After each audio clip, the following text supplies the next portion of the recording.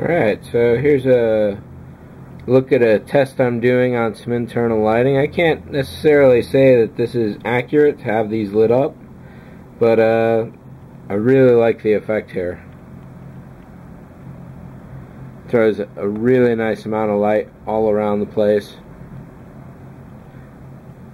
Even though this is a fluorescent white, and I'll show you what that looks like when it's not ringed by a brass tube, uh, the colors definitely have a really good change and I like what they're looking like here on camera. The fourth one down at the end there is not a brass tube, it's actually aluminum. And that is the difference that uh, even just metal can make on the effect of uh, an LED's color. Because if we actually take a look at the real color here, this would definitely show up greener than a, a regular warm white LED and definitely far less blue than a standard white LED on camera. So these are just tacked in here real easy. I just want to get another look down here.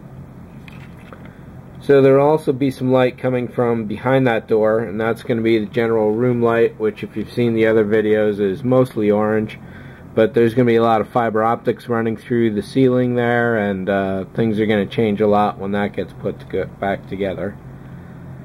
Depending on how far down the tube the light is, that changes not only the effect of the light on the far side, but uh, also when you're looking at it this way, it becomes really obvious. And what I like about these is at almost any severe angle, you cannot see the light itself.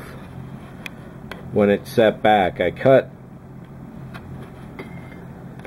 these brass tubes here at about an inch.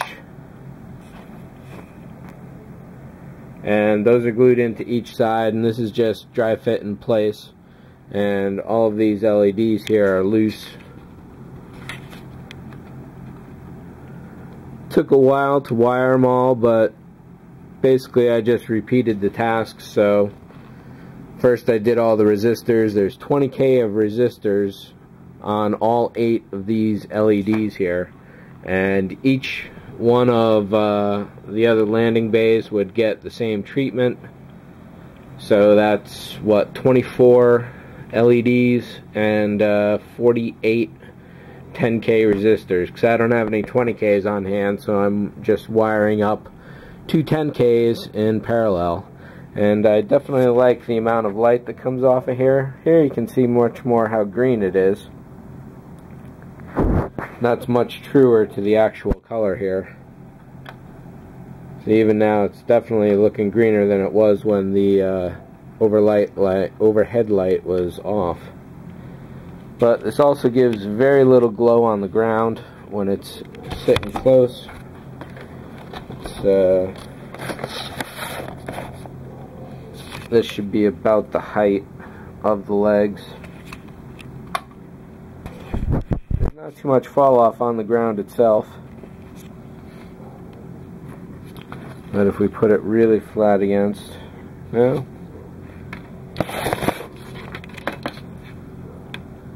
Yeah, this just really doesn't give off a lot of light at all.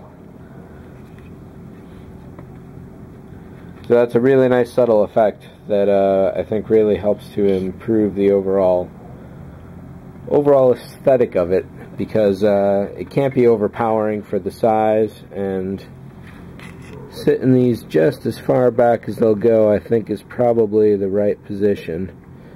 So when I'm ready to do that what I have to do now is paint the insides of these walls to whatever color they're going to be because there's really going to be no way to get any really good airbrushing in there flat against those walls ever again. So that has to be done first. That back door has to be painted up as well because all three of those parts essentially go together simultaneously. It's a little bit of a trick. I've placed these walls on all the other legs and they all fit. I was worried about things like this power bus getting in the way or an LED, but everything is pretty much well spaced for uh, this treatment here. An inch seems about right. And when I do go to uh, settle these in, I'll get some black silicone and just dab that all around the edges so that'll help seal the light in there and I may even do some around the rims of the bases here. This is just super glued into the plastic. The brass itself does sit some way into the actual uh, surface of the plastic. So whatever thickness this is that's how much the brass is sitting in there. I tried to cut them really nice but there's a few things that I definitely need to take a file to and smooth down. But I really like it. And it'll be a toss-up whether I go with, uh, that's even really nice colors there too. Considering that's all apart from the aluminum tube at the back. That's the same LED in the same place. Oh, I see. This one's fallen out so it's much less light but that's a really nice orange that gives off and those other ones are definitely looking to be their brass color that they are and that the light shown on the area there is more green which is true to the actual color. And these are all looking nice and gold as well. Yeah this is definitely I don't like I said I don't know if this is accurate but I really like that look there. That's uh, pretty cool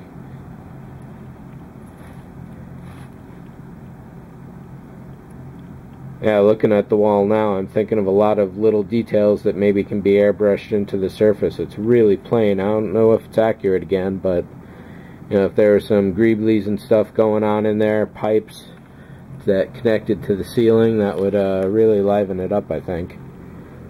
Don't know if it's accurate, but you know, I think a lot of model making is just building the kit itself to your level of happiness.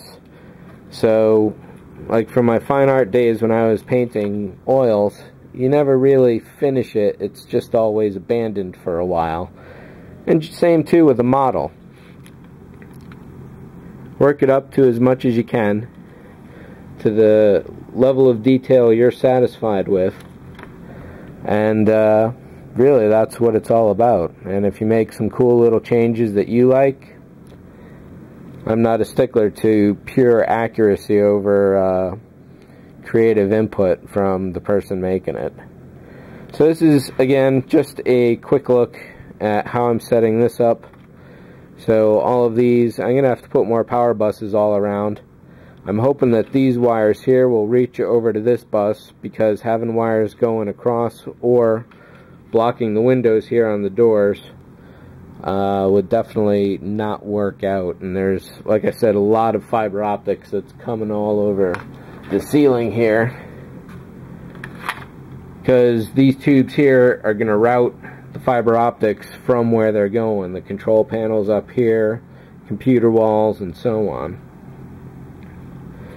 So all of that looks pretty good on the inside. I wish the camera could get a better angle of uh, field of angle of shots but that is a very small amount of space to uh, look through. And even now you can kind of see there's a lot of activity in there and I think that really adds a little extra touch that you wouldn't necessarily get otherwise. And it's pretty much going to stay looking like this. Once I've done a few tests with fiber optics in here and it looks really cool running through the uh, room down here. So uh, that's where this is at right now so with this piece, I just got to duplicate it twice more. So I got to uh, get some more brass tube because I don't have any more of this size. I do have aluminum tube that does fit inside here, and that's basically an extender because that was all I had left for the final piece. But whatever this brass diameter is, it was perfect for the drill bit I used, which was really close to the wall circles themselves. I don't know if I shot the uh, actual drilling out of those on video or not. Uh, I'll shoot it again if I need to. So coming up with some more electronics, I want to get up onto the uh, upper levels because I'm not ready to paint all this. I want to make a list of everything I need to paint, then go and do that for a week at a time basically. so I can get back to assembly overall. I definitely want to streamline as much of whatever's left of the process for all the parts here. So if I can do a lot of painting at once, a lot of electronics at once, and on the electronics, definitely back into it. So that's it for this one. Thanks for watching as always. See ya.